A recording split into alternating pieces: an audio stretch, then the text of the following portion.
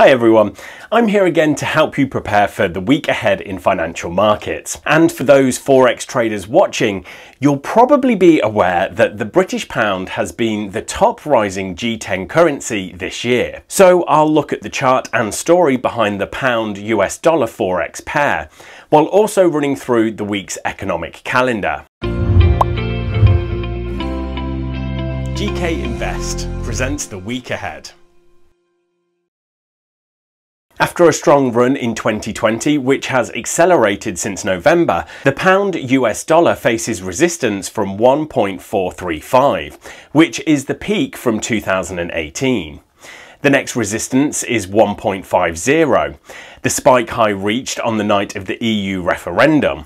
And lastly, there is 1.59, the high reached in 2015. Major support is 1.35, then back down at 1.20. The short-term trend is up, but overbought conditions increase the risk that these resistance levels hold. By the way, if you're finding this useful, please do me a big favour and smash that like button, and the YouTube algorithm will make sure more people see the video. Right, before I talk about the story around the pond, let me first run through the key events in this week's economic calendar. We start the week with manufacturing PMIs from China, Europe, the UK and US on Monday. The RBA rate decision and Eurozone CPI are on Tuesday. Wednesday sees Australian quarter 4 GDP, then global services PMIs, as well as US ADP employment. Thursday has Australian retail sales, Eurozone retail sales and US factory orders. Then we round off the first week of the month as usual with US non-farm payrolls.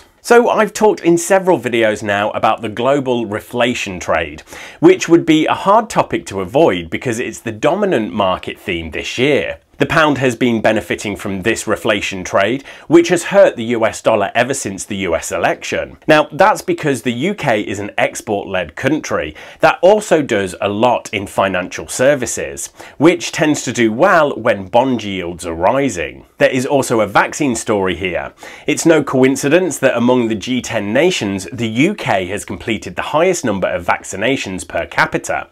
Of course, the quicker the vaccine rollout, hopefully the quicker things get back to normal. However, this is also where there could be some trouble for the pound as we run into resistance. Prime Minister Boris Johnson's four-stage plan to undo COVID-19 restrictions is a lot slower than many had hoped and could weigh on the economic optimism behind the gains in sterling. The other big factor behind the global reflation trade is stimulus.